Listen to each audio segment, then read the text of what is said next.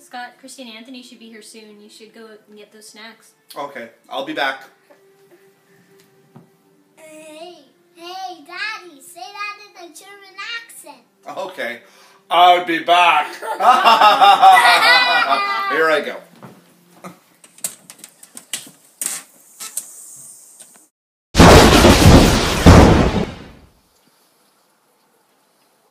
You look just like me. You will be a warrior in the war against machines. Now you must die. I died how I lived. Acting.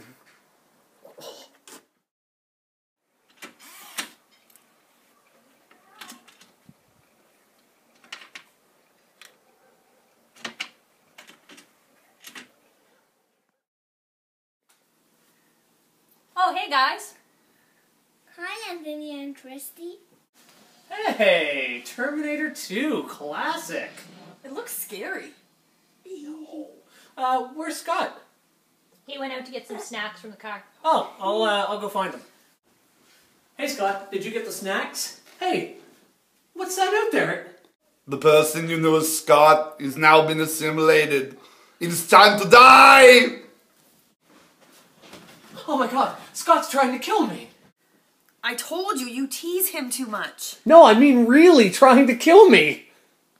Why, Scott? Why? Because your child will lead the resistance against the machines. That is why the machines have modeled me, the greatest actor and better improviser from St. John of your time, to come back and take out your child.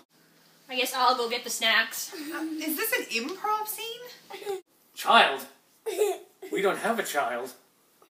Yes, you do. You have a daughter. There! Oh, snap.